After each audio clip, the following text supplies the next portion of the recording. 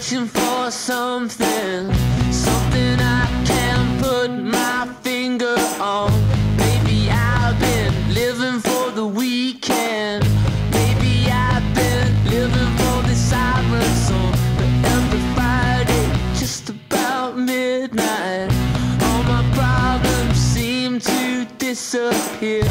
Everyone that I miss when I'm distant.